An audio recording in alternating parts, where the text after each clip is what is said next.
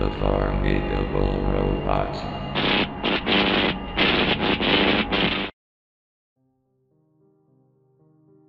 Many people can agree with me, they have had a few bad moments in their childhood that they wish to forget. Unfortunately, it's these things that are so easily burned into memory. Have you ever had a time in your life when you would try to remember the good things in the past, only to remember something embarrassing or shameful?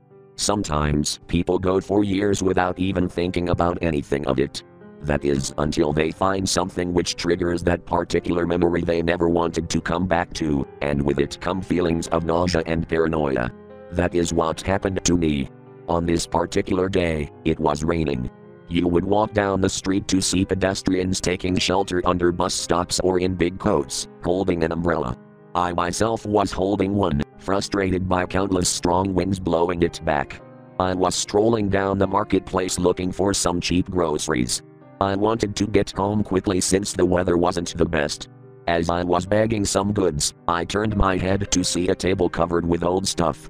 Taking a closer look, I could see it had boxes filled with VHS tapes lined up on their sides.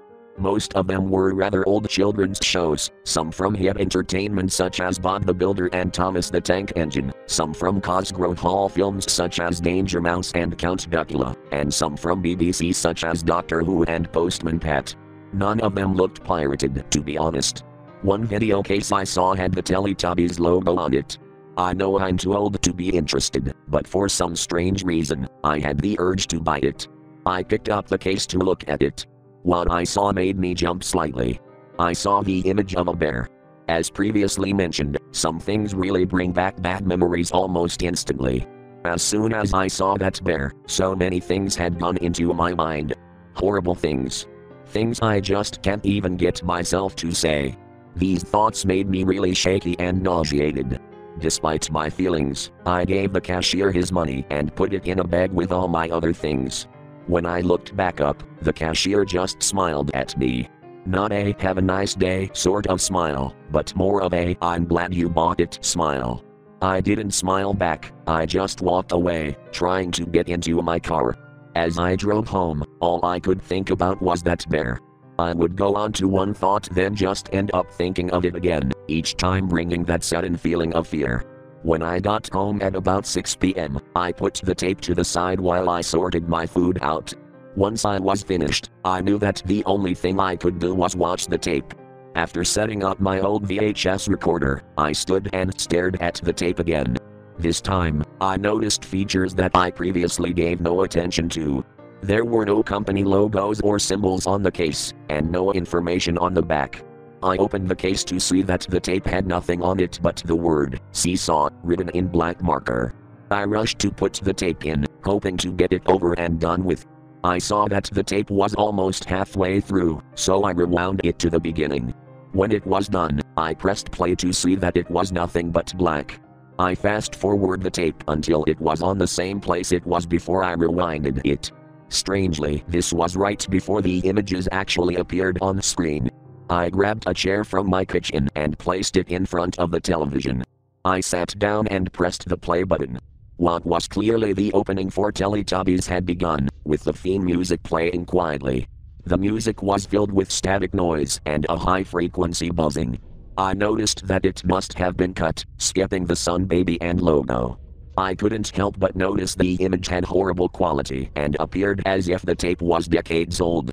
The image was shaky and had a layer of static that constantly fuzzed. The color was also really bland and gray. As the Teletubbies ran down the hill, the footage suddenly cut to them staring at the camera. It cut again to view an empty field with small hills. The music stopped suddenly. An image of a seesaw flashed on screen, it lasted for about several minutes, until a kid with a little boy went on the seesaw, and then played around on it on each side, moving it up and down. They didn't say anything. The field then came back into view. The only thing I could hear now was that buzzing. A small figure appeared in the distance of the field. The buzzing noise became louder. The seesaw image flashed on screen again. The buzzing momentarily silences, as the echoey voice of an elderly woman could be heard slowly getting louder. The image flashed again. The screen slowly zoomed into the distant object as the buzzing noise came back. The woman's voice slowly echoed. I'm coming! I'm coming! A high pitched screech was audible as it slowly zoomed. A bear's face flashed on the screen. Things started to get tense. At this point, I was too frightened to turn the volume down. I'm coming! I'm coming to get you! I looked behind me and quickly looked back. As the screeching became louder, more static could be heard. Random images of children flashed on the screen every few seconds, as the camera finally zoomed in until the figure filled the screen. I'm the bear, and I'm coming! The horrific sound of children crying could be heard. The camera began to zoom into the bear's face as the seesaw flashed on the screen again. I'm coming! I'm coming! I'm coming to get you! The image flashed on the screen once more. The seesaw had stopped, and the boys were just staring blankly at each other. The camera had finally zoomed into full view of the bear's face. Its mouth moved up and down as it echoed. I'm coming! I'm coming to get you! And I will get you! The bear's eyes began to spin around. The image flashed on the screen. The seesaw reappeared, but with blood splatters everywhere, human organs and body parts on and around it. And was surrounded by what appeared to be human remains. The dead bodies of two young boys appeared out of nowhere and caused the seesaw to slowly move up and down. They were just lying there, their clothes soaked in blood. The sound finally stopped. I sat and stared at this image for a minute before it went black. Needless to say, after that minute had passed, I immediately grabbed the tape out of the machine and threw it in the bin, along with the case. That night, I couldn't sleep. I couldn't stop thinking about what I saw. I had to frequently check my windows.